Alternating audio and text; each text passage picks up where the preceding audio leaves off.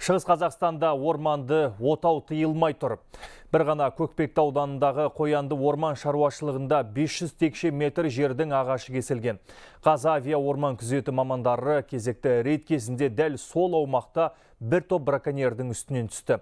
Ал Қатон Қарағай ауданындағы Тау өзенінде балық аулап жүрген бір азаматтың көлігінен құжатсыз әскери қару мен оқпан толы оқ тәркіленді.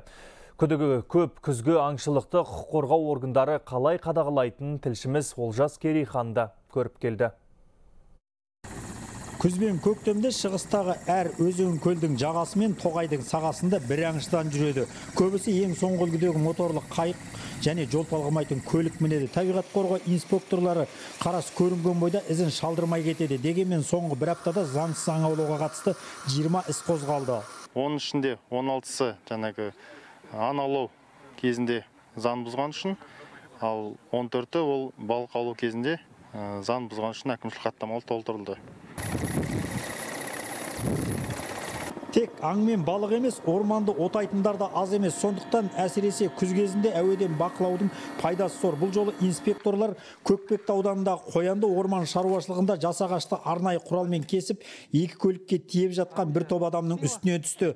Көлік иелерінің қолында тек ағашты тасымалдайтын ғана рұқсат қағазы бар. Вот эта речка выкашена. Здесь минимум 500 кубов уже вывезено. Нет мы просто минимум 500 кубов вырублено.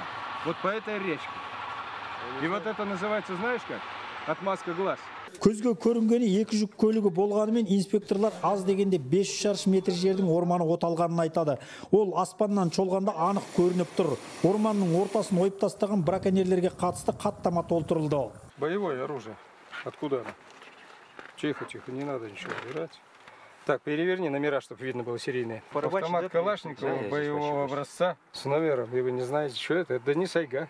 автокөлікке автомат салып алып қатонқарағай келіп балық аулап жүрген бұл семейдің тұрғындары олардың көлігін қарау кезінде еш құжатсыз әскери қару мен оқпен тайы толы оқ шықты инспекторлар қаруды тәркіледі ал саят құрып сайран салып балық аулап жүрген бұл азаматтар қаруды қайдан алғанын айтпады нарушители закона қарапайым азаматтардың қандай көлік мініп және қандай қару жарақ ұстап жүргеніне куә болдыңыздар. Ал суда ең соңғы үлгідегі моторлы қайықпен жүзеді. Сондықтан құқық қорғау органдары үнемі оларға жете алмай жүреміз. Тек әуеден болмаса.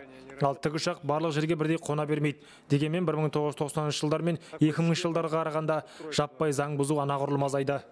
Инспекторлар күзгі аңшылық маусымы кезінде рейдпен әуеден бақылауға апта сайын шығады. Қалың қар түскенге дейін 1100 сағат аспаннан шолу жасайды. Шығыс қазақстаннан олжас керейхан дмитрий пыхтин хабар 24